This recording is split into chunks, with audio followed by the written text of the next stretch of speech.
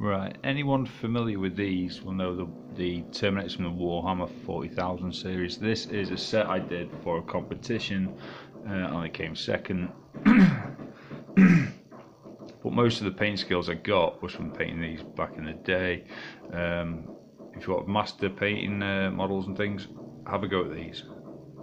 They're nearly impossible to do, they're absolutely tiny. Um, they're about as big as a thumb. Yeah, right, which brings on to the next bit is um, surface and painting.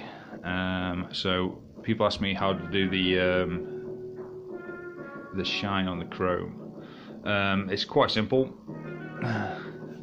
Bike chain oil, anything, or a WD-40, um, figure of eight motion, nice and smooth.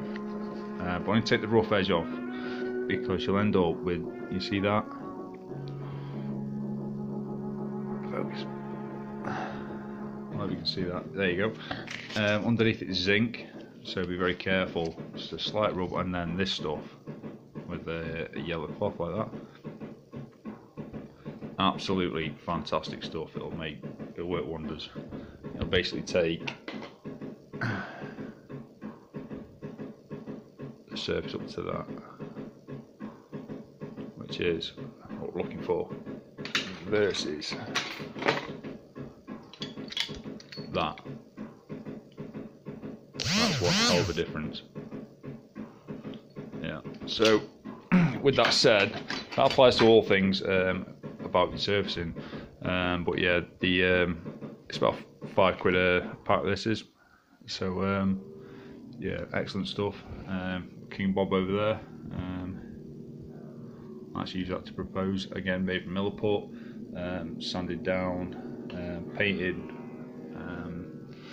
with I think a sun yellow um, Citadel paint, which I'll come back to is the uh, Citadel paint range, which you do the small terminators with, and that's what the uh, teeth are done with. There you go. Um, not done here yet.